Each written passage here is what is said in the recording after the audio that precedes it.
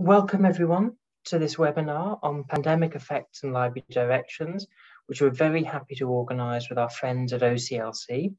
My name is Stephen Wyber, I'm Director for Policy and Advocacy at IFLA. And I'm aware that especially now, we're at a time where it's incredibly important to have people, have people who put in the effort to bring together evidence, to bring together information, to present ideas, and to help us really have debates to understand how to deal with the uncertainty that we're facing, how to structure our plans, how to look to the future. We've got two really great examples of this work from these our OCLC colleagues today, looking at the results of the new model library project, bringing together the insights from 29 library leaders around the world, looking at both the effects of the pandemic today and directions of the future, as well as talking about the results of the Realm project, which has been a, a fantastic drive to put together science-based information to help cultural heritage institutions navigate the uncertainty of the pandemic, as well as preparing for the future.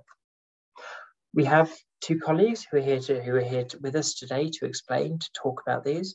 First of all, we have Lynn Silipigni Connaway, who is the Director of Library Trends and User Research at OCLC Research. She has numerous publications and is an international speaker, including tonight, and has co-authored Basic Research Methods for Libraries, the fourth and fifth editions, as well as Research Methods in Library and Information Science, the sixth and seventh editions. We also have Sharon Streams, who is the Executive Director of WebJunction, a project of OCLC research that has provided free continuing education and professional development for library staff since 2003. So next year will be a big anniversary. WebJunction also designs projects and delivers transformational programs that connect public library service, public library services to communities needs such as lifelong learning, health well-being, and economic uh, and economic success. So with that, I'm going to hand straight over to Lynn in order to, to lead us off. I will only say if you have questions, please do ask them using the questions and answers tab. And I look forward both to our speakers, to Lynn, to Sharon, and to your questions when they come in. So over to you, Lynn. Okay, thank you, Stephen, and thank you for everyone for being here. Um, I'm going to try to share my screen here, one minute. Um, I think we're set. I hope you can all see the screen now. No? Um, try again. I'm not sure if you're seeing it.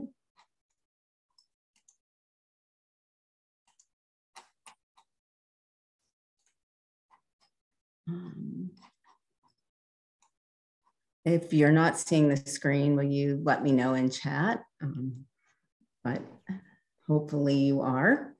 And so I am talking today about a project that we've called a new model library.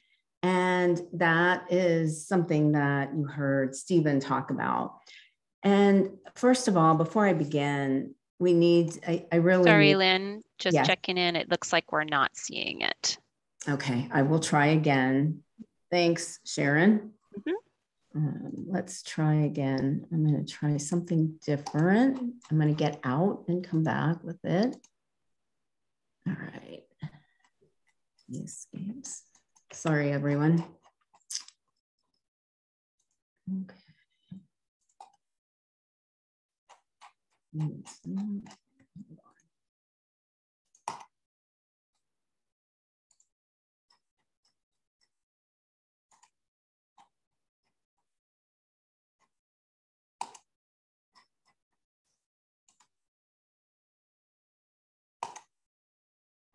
How's that? Is that better?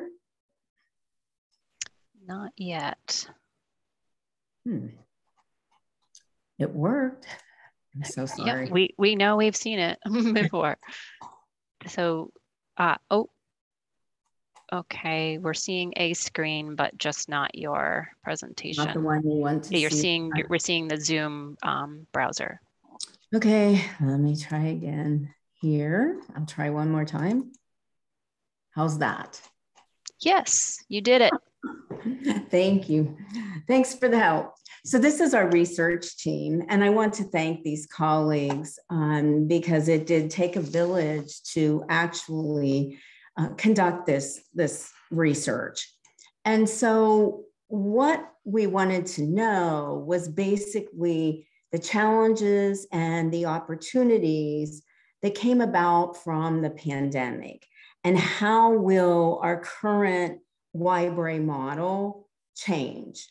And what that means is we wanted to know what happens what, or what is going to happen with this whole essence of what libraries are and how they function.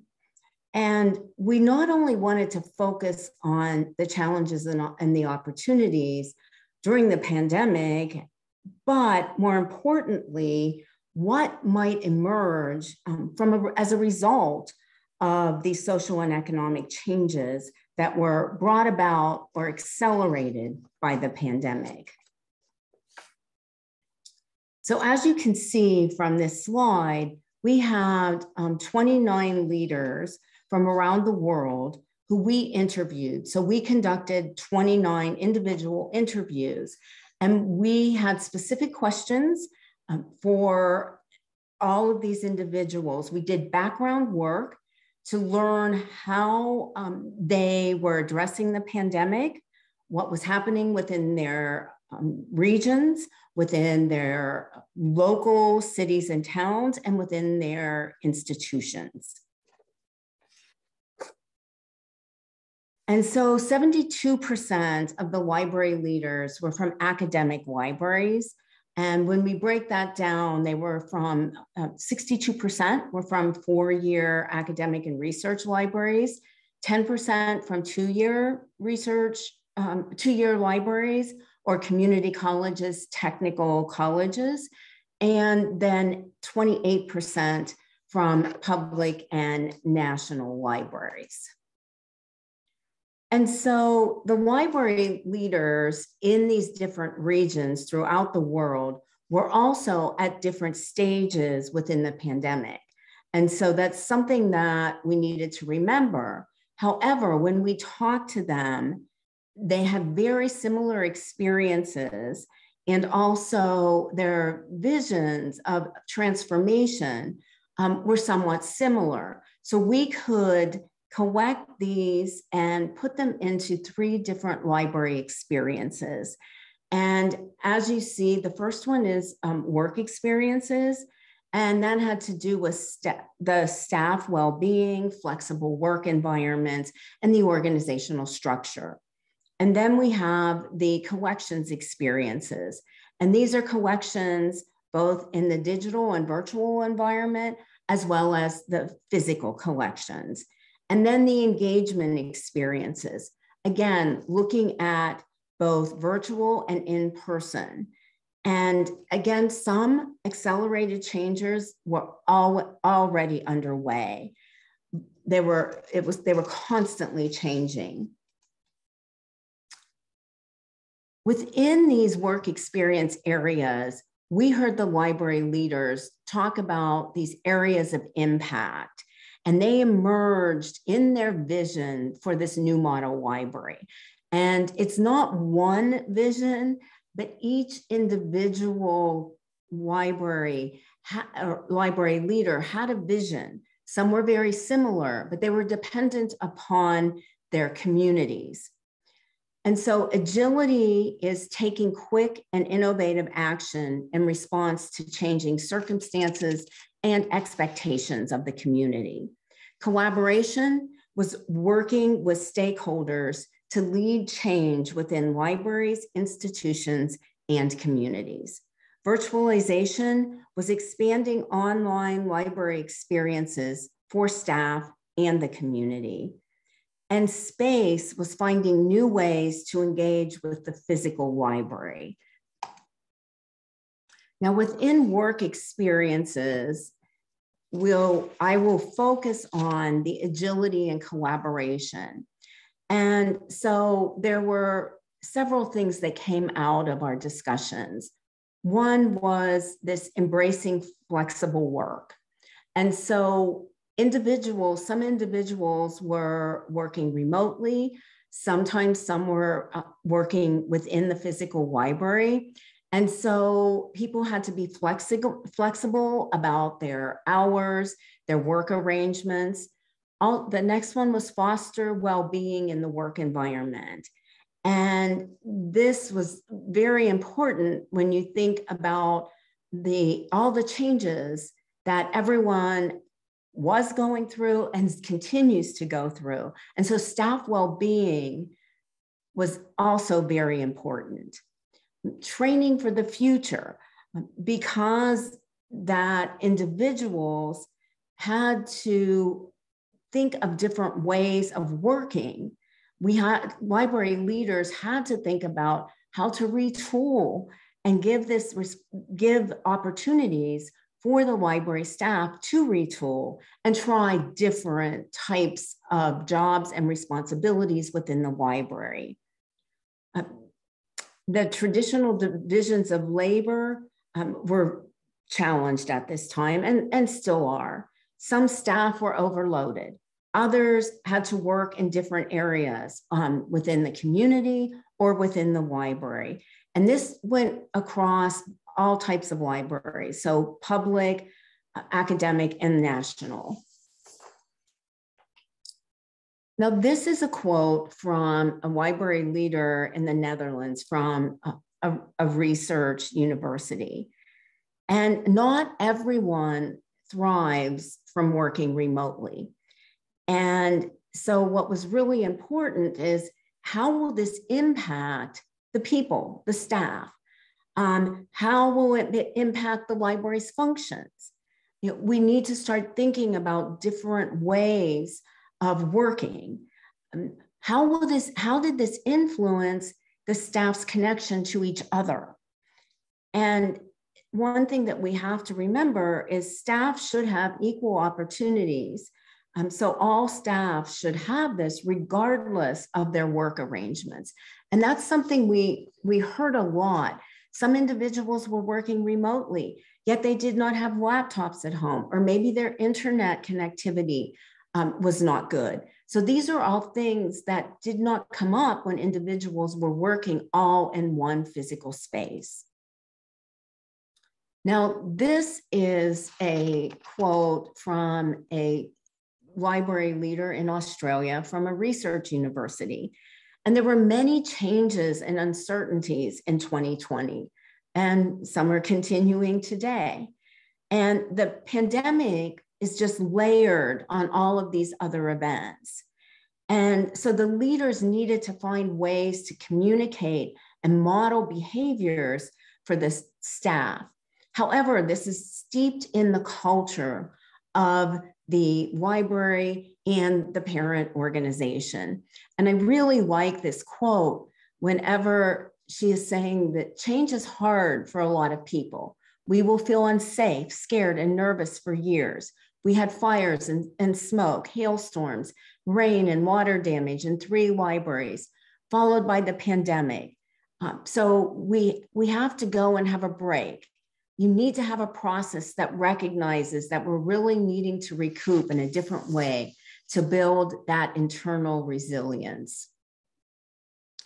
This is someone from a four year college in Greece, and she's talking about the, this learning, this continuing education. You know, we started learning like crazy, all of us, like, you know, getting online tutorials, reading the Chronicle of Higher Ed, looking at what everybody else is doing and try to be, bring in the good things. And also reassure people that this is everywhere. We're in this together. It's just not us. So it's this importance of continuing to prioritize learning opportunities um, talk about staff job sharing uh, in this way people need to retool we need to really communicate and collaborate this from a four year college library leader in the US. And this individual is talking about the collaboration and really relating to the needs of the community. Um, some things that we heard were like integrating reference and information literacy instruction, this cross training so that there wasn't just one individual who needed to, to be working on the instruction, but maybe several. And to align the structures to the institution's mission. And that has come up a lot about really meeting the mission and goals of the parent organization within all of these changes. Now you'll see with the collections experience, I'll talk about collaboration, virtualization, and, and again, agility. Um, we, uh, library leaders had to acquire digital and open content strategically. We, they really need to create new connections to physical collections and to prioritize resources that close the digital divide. The digital divide has always been present, but the pandemic really brought this to the forefront even more so. And this is a quote from a public, an urban public library leader in Canada, and really talking about the seamlessness um, of getting to the library services, not having to go through all of these firewalls and passwords. And so the what we heard is the short and long-term goals for library leaders is to continue negotiating with publishers um, to get um, more open access and more um, ease of use and access. And also more collaboration with consortia. Again, that partnership, collaboration. And this isn't wasn't just true of public libraries, but the academic libraries uh, uh, as well. In the academic libraries, we heard about the seamless access with the integration into the learning management systems. We also heard about this need for open content and um, and also open access. A library leader in Spain from a research university and talking about the budget and thinking of how we're going to fund uh, and invest our funds in both print and digital collections. And there's this vision of services and policies changing. And what happened during the pandemic, as we all know, you know, there was the pickup and delivery of materials. There was even one school library in the US where they delivered materials to the students at their homes via drones. And it's not an, an, an either or situation. We have to make room for both this physical and digital content. Uh, they there were a lot there's a lot of talk about the new policies and workflows for digital content especially special collections. And also also this user-centered collection policy looking at community expectations and needs this is a quote from a research um, university library leader in Hong Kong and talking about this move toward closing the digital divide and the importance of calling out misinformation and disinformation um, in this larger agenda. Next are the engagement experiences. And I'll talk about um, space and virtualization and collaboration. And collaboration is this partnership with a, with a purpose. And so there's this high, we will lead with a hybrid approach, um, invite engagement in physical spaces, and, and again, partner with a purpose. This is from a four year university library leader in Canada talking about the benefits of um, virtual engagement and also seeking to address those who were left out of these physical spaces. And right now, I don't know about all of you, but I'm feeling this need for that physical presence as well to be in a space with with colleagues uh, to talk to share ideas uh, besides in this virtual environment and they do complement one another we just have to work on how we work these two together. Also, this partnering with other libraries can also be very helpful for the communities and personalizing the needs of your academic or, pu or public library community.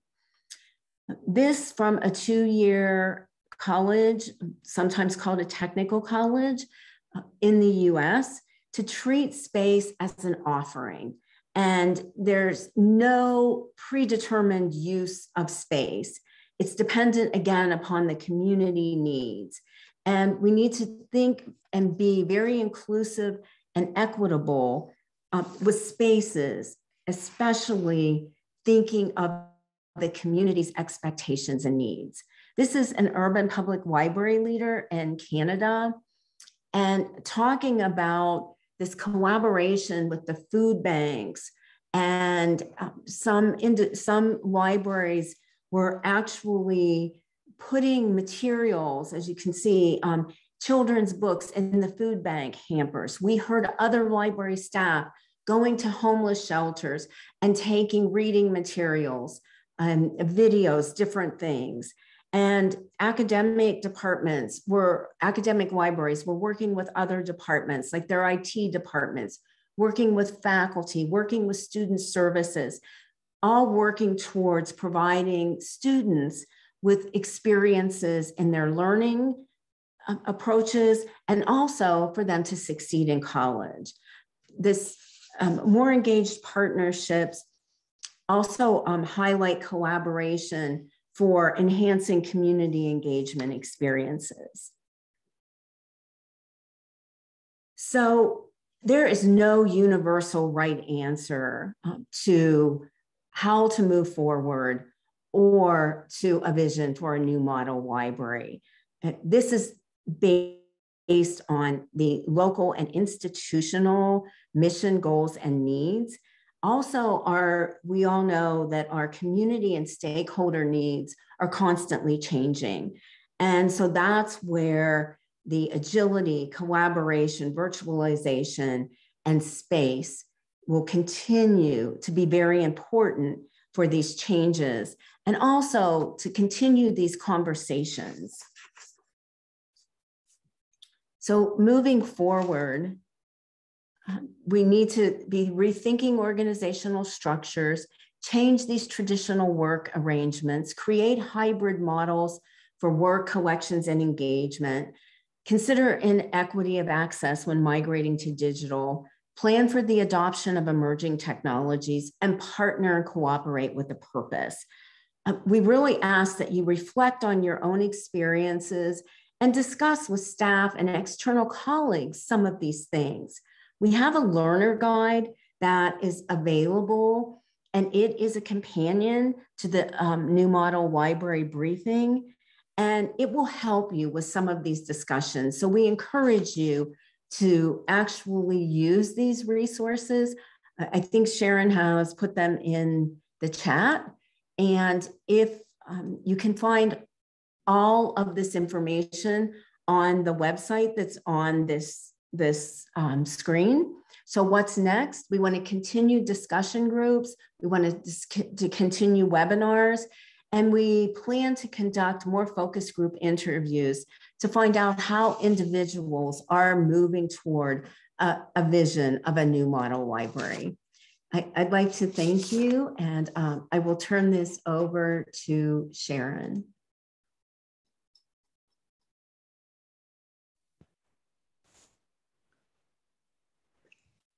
Thank you, Lynn. Thank you so much.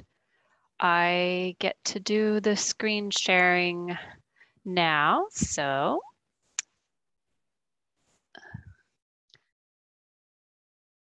I um, should be in that mode now. Thank you so much. Um, so this is a really nice uh, companion and jumping off place from what Lynn was talking about to talk about the Realm project work, where Realm stands for Reopening Archives, Libraries, and Museums. And this has been a, a project that started back in early 2020 And the origin story behind this is the Institute of Museum and Library Services, or IMLS, which is a US government agency that provides funding to libraries and museums, hosted a webinar uh, with staff from the US Centers for Disease Control as guest presenters back in March 2020 for the library and museum community. And that webinar left a lot of open questions about how to deal with the millions of circulating library collection items sitting in people's homes as the first wave of the COVID uh, pandemic was hitting uh, the US and other countries. And likewise, museums, which have a business model that relies heavily on people coming to their spaces, um, buying tickets to come there, well, museums were gravely concerned about how they could operate safely. So this led to IMLS initiating a partnership between OCLC, um, where Lynn and I are from, which is a global library technology and research company, and Battelle, which is a scientific research and development company, bringing us together to provide science-based information to the field to help decision making through the COVID-19 pandemic. also along with between these three partner organizations it was essential that we draw upon the real world, real time experiences of libraries, archives, museum leaders, and staff. So um, the project has had an executive project steering committee, an operations working group, and a scientific working group, group that includes um, not just um, institutional members, but also member associations such as IFLA um, in those groups.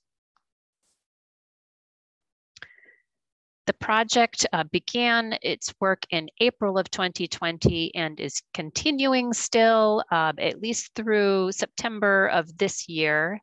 And we've had um, several main areas of activity. One is to review and summarize relevant scientific research emerging around SARS-CoV-2 and COVID-19 um, that's um, that would be useful for libraries, archives, and museums to, as I said, engage continually with representatives from these institutions to understand what their needs, their experiences, and respond accordingly.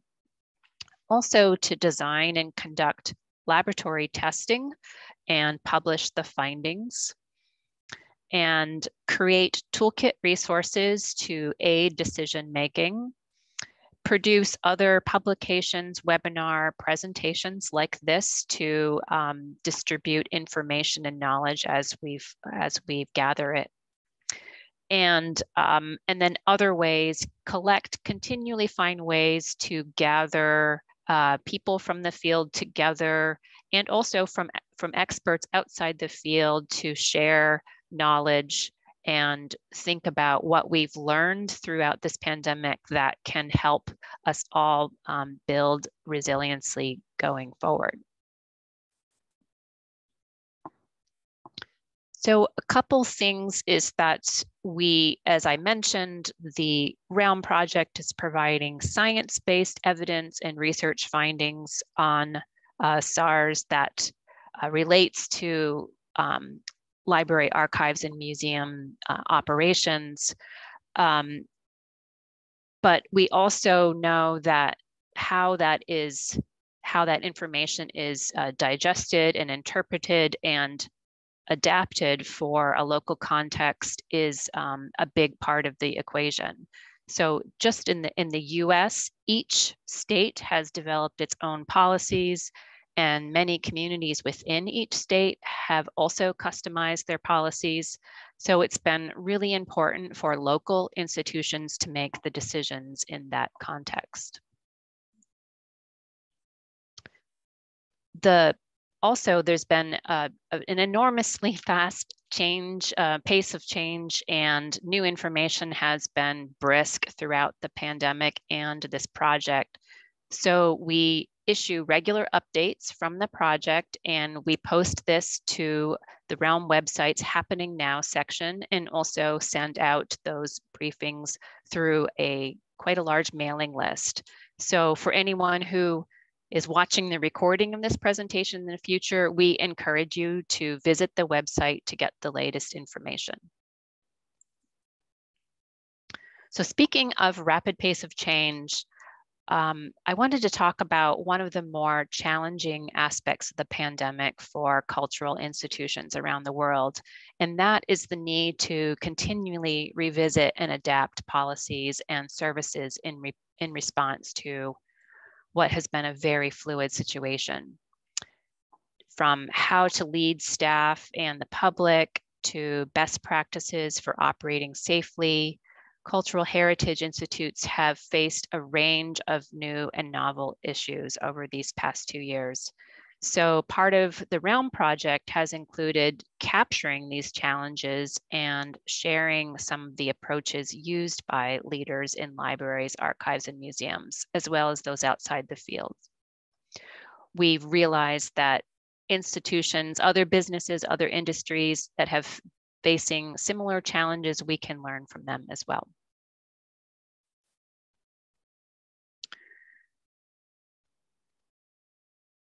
One resource that came out um, in the in September of 2020 has proven to be really helpful. And this is an article that was published in the British Medical Journal um, by researchers in the UK.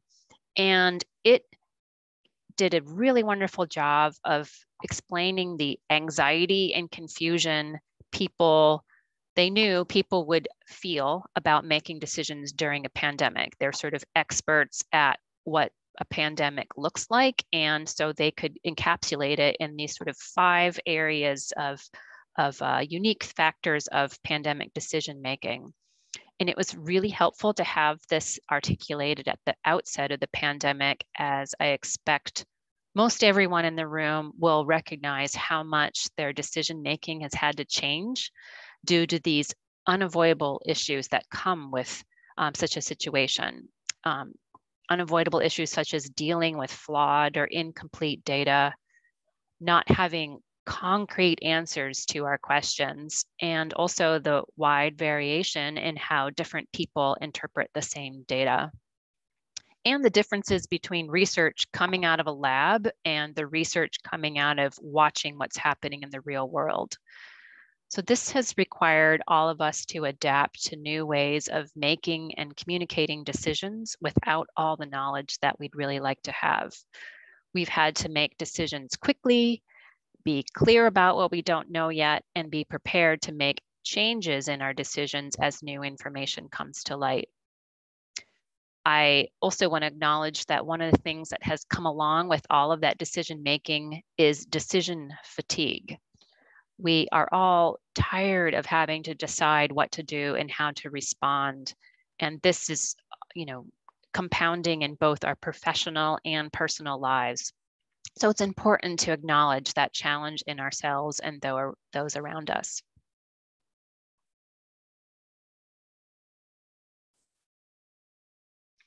Other changes that we've seen uh, across libraries, archives, and museums are a range of service and policies changes. You heard Lynn talk about this from the new model research, new model library research, and the Realm project has observed similar trends in our discussions with um, representatives from the field you know, certainly from a staffing perspective, as people started working from home or wearing masks within the building and social distancing, we've seen so many twists and turns around that.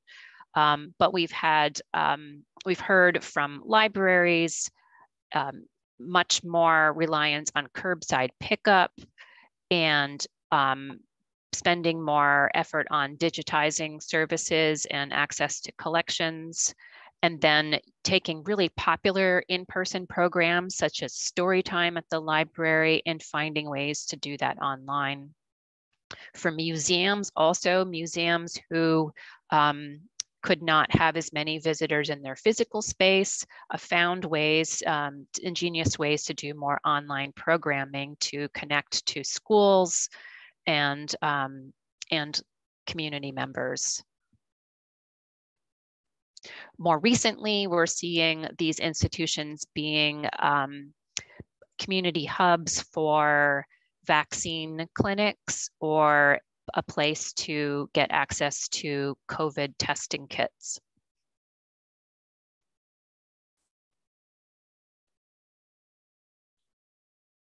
Now, we also heard about strategic plans. You know, many institutions have their three or five or even 10 year strategic plan. And with this very um, different change in the, in the current situation, some institutions found they needed to put their strategic plan on hold or sort of throw it out. Um, but others took advantage of what was a bad situation, but seeing how they might move ahead with strategic initiatives um, nevertheless. And we have this great example from one of the members of our scientific working group. Um, this is Dr. Frederick Bertley, who heads the Center of Science and Technology, or COSI, in Columbus, Ohio.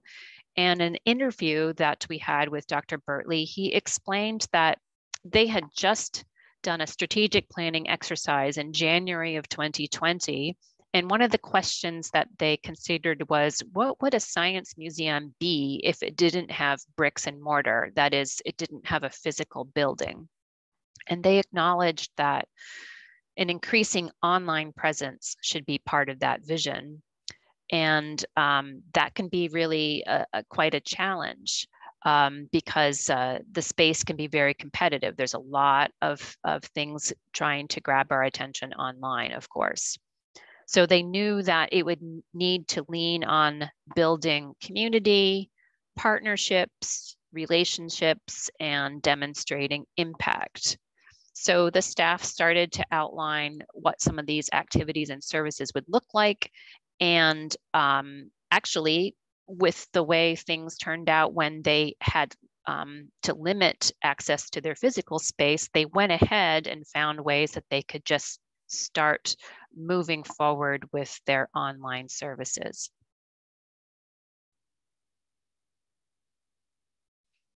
So that video with Dr. Bertley is part of a series of articles and videos called Perspectives from the Field that feature conversations with leaders in US institutions about their experiences, what they've learned, the changes that they've made to their policies and services, and what they're looking to on the horizon.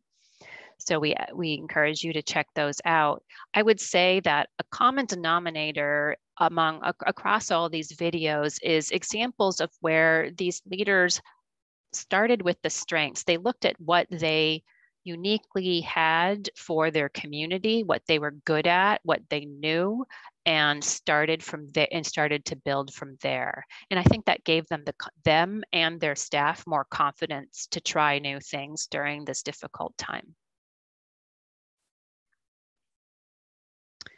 So uh, with those examples, perhaps you have some of your own. If you think, I'm curious to hear any changes that you've implemented over this period of time that you that now your institution is saying, you know what, we just might keep doing that um, regardless of what happens with the pandemic. So I invite you to add into the chat any um, examples uh, about changes that you plan to that you made that you plan to keep. And meanwhile, I think I will just keep moving on to talk about the research around COVID 19.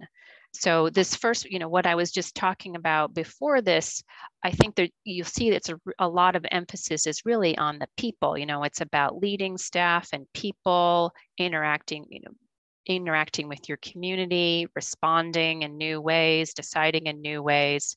Um, but certainly a core piece of the Realm project has been science research about the virus.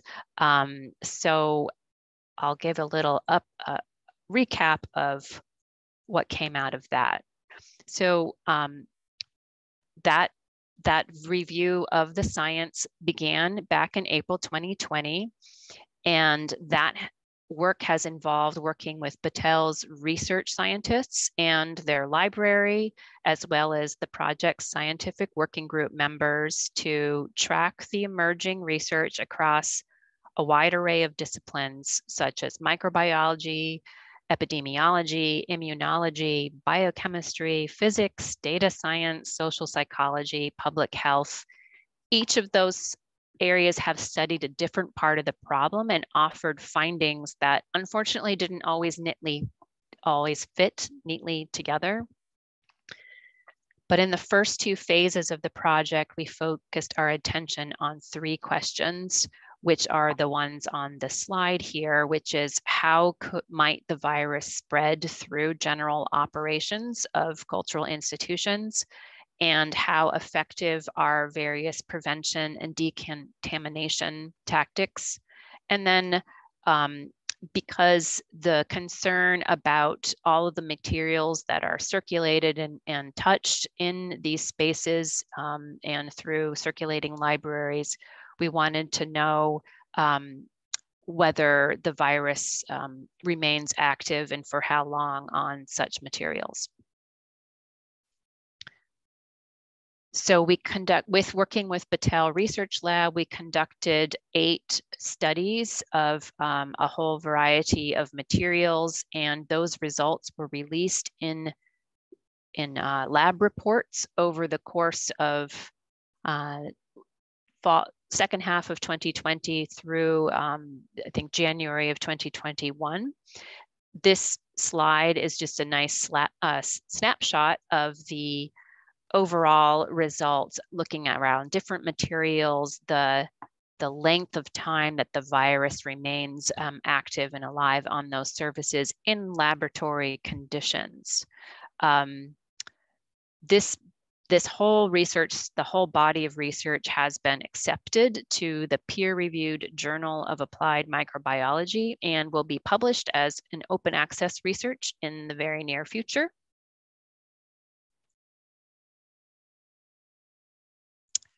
Once uh, once the variants of the so that all that laboratory research was conducted using the original wild type version of the SARS COVID COVID virus, and of course we know um, as 2021 and now into 22 we've had two in particular two significant variants of the virus uh, come through. And that uh, led to um, more questions, more research questions. Um, so, you know, we weren't going to do more laboratory results, but we wanted to know what are the impact of the variants on these, on the protocols and the interventions that had been in place. Do we need to do anything differently than what we were doing before? also when you introduce vaccine vaccines into the the equation where we have a um, a combination of vaccinated and unvaccinated staff and public, and we have a combination of new protocols, laws and restrictions for the public within cities and states and countries. Um, what does this mean, again, for decisions that libraries, archives, and museums can make to keep their operations and services uh, going?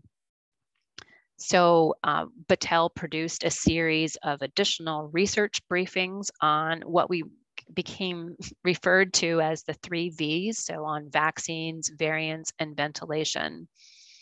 And this is basically um, scanning the research that has been published across the scientific community from around the world and finding those studies that most that seem to most relate to the operational settings and concerns of, of our community.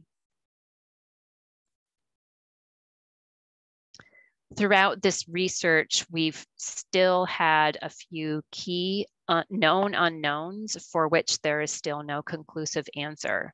So even after all this time and considerable research and costs, um, and again, especially as those variants induce, introduced greater complexity to these questions. So um, we, uh, while we've all wished for some clear and consistent answers during the pandemic, we've come to terms with the fact that that's not how science works. Rather, there's been an accumulation of evidence that when pulled together, tells a story about COVID 19, our around which a growing majority of researchers have coalesced. As we've seen through our literature research and as has been reflected in communications from the US Center for Disease Control and the World Health Organization, there's general agreement that the virus travels easily through the air, both through large respiratory droplets, through small aerosolized particles, and that the transmission of materials and surfaces is a less common source of COVID-19 infection. There's also evidence that the transmission uh, via body fluids, including sewage pipes, may be possible. While there's still under uh, these unanswered questions about transmission and also about the infection infectious dose of SARS-CoV-2, there is much greater understanding and consensus in the science community about how to reduce the risk of transmission when not vaccinated. So, wearing a mask as guided, maintaining physical distance from others, washing your hands, and choosing settings that offer plenty of fresh air and sunlight. What we've found, and this has been, I think, a, a great relief to our, our resource constrained community, is that we typically don't need expensive new gadgets for any of this. Um, it's really about building new personal, social, and work habits. The tactics uh, showing efficacy include hand washing and hand sanitizing, um, wearing masks, and uh, for also um, cleaning, there's certain disinfectants to clean surfaces um, when you are dealing with a, a contaminated surface. Um, of course, when the discussion around uh, disinfectants and cleaning was more of a was a active concern back in uh, 2020, um, there was great caution, in particular from the archivist uh, community, to make sure that people are very careful about what they use on sensitive collection items. So um, whenever possible, the idea of just leave it alone, just let it just just let it sit there for an hour or, or more. Um, that was always, eh, um, and just letting it naturally attenuate. That's always been the preferred method. I, th I think um, there's also been issues about finding the balance between pragmatic cleaning and also over cleaning um, that really has no effect in reducing the risk of transmission, but can also contribute to not just um, a high expense of, of cleaning products, but also harmful effects to people, objects, and the environment. Now, from our conversations with people who work in libraries, archives, and museums, we still mostly hear of institutions who cannot trace COVID 19 cases among staff or visitors back to their own operational policies and procedures. And we also frequently hear of community members who express their gratitude to their local institutions for putting health and safety first and who are appreciative of the services and programs provided during the pandemic, even those that had been adapted from in-person to virtual. So finally, I wanted to just uh, point you to the resource area of, of um, the Realm project and the website. I need to click, yep, to get the list up there. Um, so there's a whole section of toolkit resources that have a, a variety of different um, things that you can check out. One, again, are those uh, videos with leaders, so you can just hear straight, this is what we've been doing and this is what happened um, from, from them.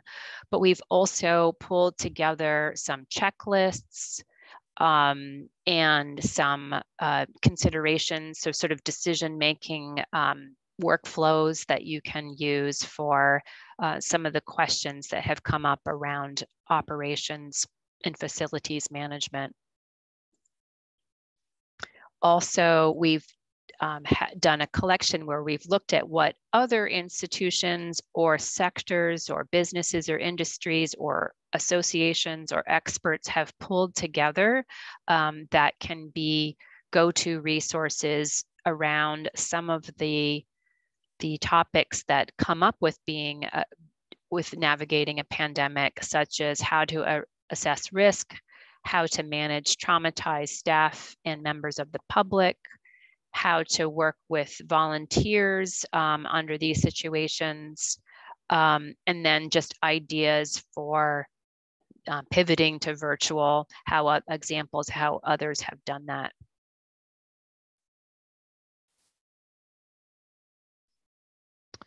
We also uh, have uh, to have um, key initiatives to highlight that are from organizations that are part of the Realm project that are working to strengthen access to accurate information about vaccines and to increase vaccine confidence.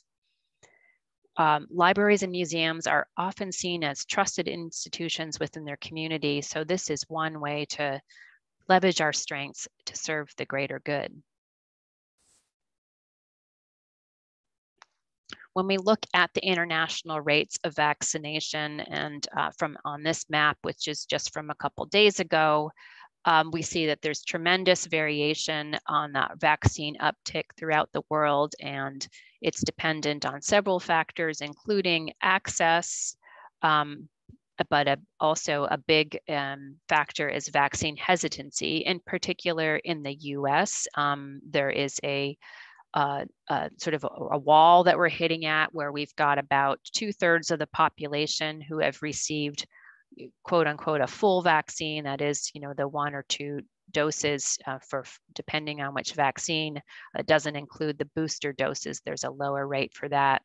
And vaccine vaccine hesitancy continues to be a real concerning issue in particular here in the US and so this is an area where we see libraries and museums as trusted institutions helping to support vaccine confidence by providing access to information and sources and, and uh, doing outreach to their community. And I just wanted to highlight a couple projects um, from these that are, are really, really cool and doing great work. Um, so the first one is Vaccines and Us, and this launched April 2021, and it's a partnership between the Smithsonian Institution and a range of other institutes. And the project website, which is here on the screen, it has a great range of free work resources and information. Um, and this is uh, this it's really about uh, kind of all different ways, you know, kind of from art and and science and um, and just fascinating information to connect people to the information that will help them get through their vaccine hesitancy.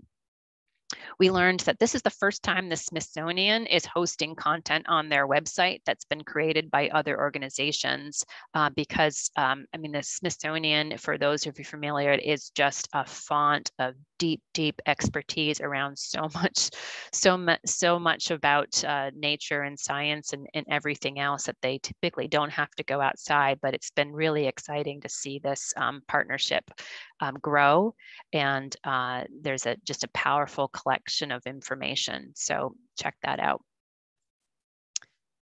And the other example is an initiative that uh, IMLS is also sponsored of, and it's led by the Association for Science and Technology Centers with uh, this network of the National Libraries of Medicine and the American Alliance of Museums. And one of the core opportunities available through the project has been for cultural institutions such as libraries and museums and archives to apply for funding to help with their local community education efforts around vaccines uh, the organizations that I mentioned that are part of this initiative, both of those initiatives are also members of the Realm Project Steering Committee. So we've been able to share information and resources across all three project networks. Um, we, um, we're basically a network of networks. Um, and so it, it's all working towards spreading out as much information and resources to our, our global community as possible. And with that, I'm just going to wrap it up and thank you so much. Thank you so much, Sharon and Lynn, for those fantastic presentations. Um, we've only got three minutes left, but we do have one question. It is in Portuguese, but fortunately it was asked early enough for me to put it through the auto-translate, so I can give you a summary. Um, th there's actually four questions in there, but I think the the really key, crucial one is um, do you see the provision of health information becoming a, a, sort of a permanent part of the role of libraries? Do you see this as being something even that gets integrated into library LIS education? And that's from Dandara Bassa de Jesus Lima.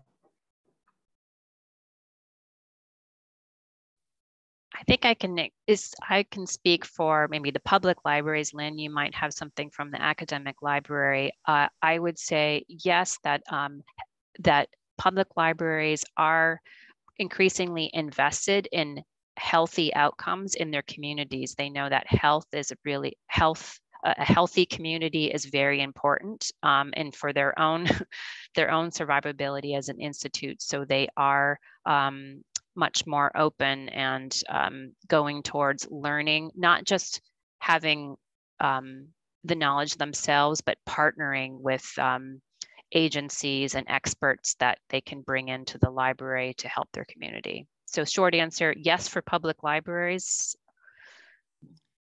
Um, and I, I, think it's a little different for academic libraries and it's also um, dependent upon the community. And I know um, a, a university where I live that there are librarians who work with the um, health um, curriculum, so the faculty, and they work in that area. But I don't, at this point, I haven't seen a lot of academic libraries bringing in the public health specialists or um, any medical staff in the library. However, there's one, um, I know of one academic two year uh, college, so or technical college, where it also serves as a public library and that's something that is happening there but it's it's a blended model. As far as um, education for uh, library and information science professionals uh, yes there are um, programs that do include this. And so um, it's both in a public library um, sort of um, vision and public health. Um, but because again, our vision of the library is changing. And so the education is changing as well. Um, there are also um, specifics for people interested in in medical libraries. And so they have a, another special um, subject area, which also comes out in academic libraries.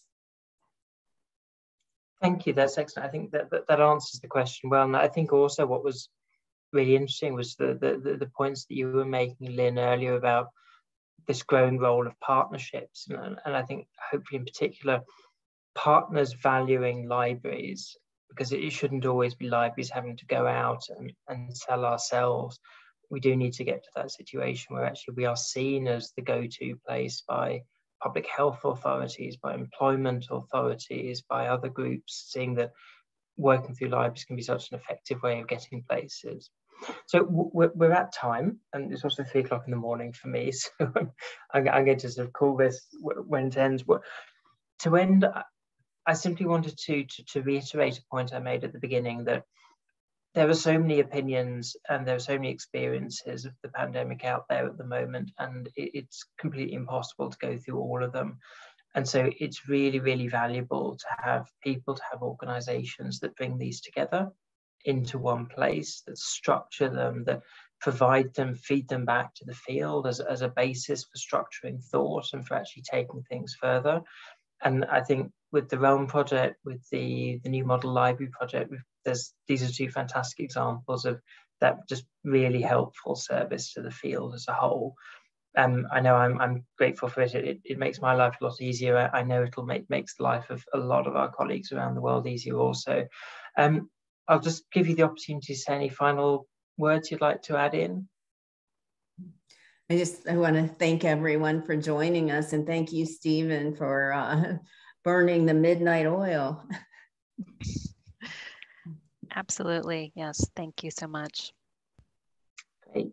So with that, thank you for everyone for joining. Um, we have recorded this, we'll put this up on IFLA's YouTube channel and we will include the links that have been shared in the chat in the description up there on YouTube. So if you want to watch again, if you've not managed to copy down those links, that will all be available. And of course, then please do then think about sharing the recording with colleagues who may not have been able to make it at the time you've given. But with that, thanks once again to Lynn, to Sharon, to all the colleagues at OCLC for this work. And I wish you a very good rest of the day or evening or night. Thank you very much. Nice.